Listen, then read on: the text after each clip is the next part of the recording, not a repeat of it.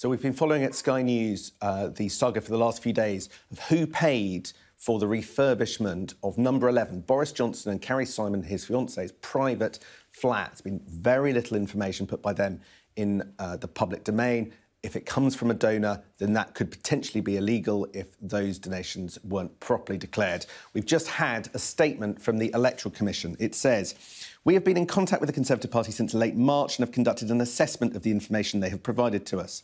We are now satisfied that there are reasonable grounds to suspect that an offence or offences may have occurred. We will therefore continue this work as a formal investigation to establish whether or not this is the case. The investigation will determine whether any transactions relating to the works on 11 Downing Street fall within the regime regulated by the Commission, whether such funding was reported as required. We will provide an update once the investigation is complete. We will not be commenting further uh, on upon this point. Now, this is all about the £58,000 that the public purse wouldn't meet when it came to uh, the refurbishment of the number 11 flat. Uh, Carrie Symonds, Boris Johnson, understood to have used a high end designer uh, who favours fancy wallpaper. The bills were spiralling.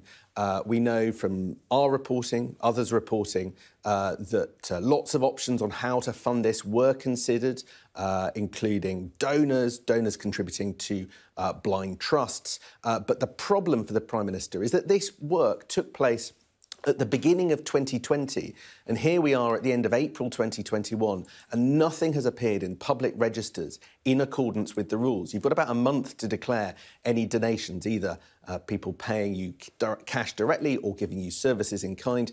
None of that has appeared on the public purse, and it remains today entirely unclear how the £58,000 uh, has been uh, funded, because we know that while Boris Johnson, we were told last Friday, footed that bill, we also understand he took a loan. It's not clear where that money come, came from either, or who paid the, in the interim between the works being done and the moment when uh, Boris Johnson reimbursed uh, uh, whoever was footing the bill until that. And, and to be clear, if the Conservative Party or Conservative Party donors paid initially for uh, the uh, renovations, or if that wasn't declared, which would actually be the offence?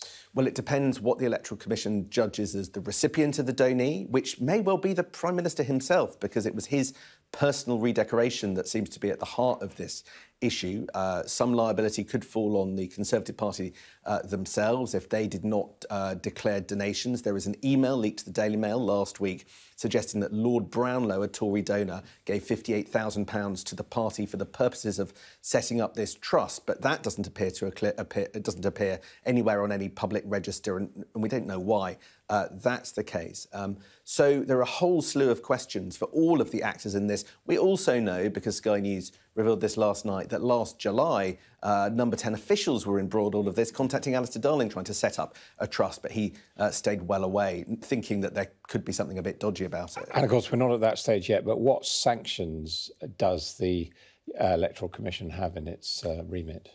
Well, the Electoral Commission, which doesn't have a great track record of actually getting through to either finding or prosecuting uh, uh, individuals or, or, parties and, and making those um, uh, stick uh, has a range of fines and possibly uh, more criminal sanction, but they are very, very rare. And that, that would be used. finding what on the parties? Or... Well, we would we wait to see. But um, Boris Johnson is regulated under the uh, you know 2000 elections donations rules, and so theoretically it could be him, or it could be the party, or it could be other individual actors uh, depending on what their role was. The, the, the, what the Electoral Commission is looking at here is the failure to declare money, and that could be the Conservative Party, it could be Boris Johnson, because of the worries that that could come with an attempt to influence political decision making, honours lists, and stuff and, like and receipt of money to renovate a private flat, would that be an offence?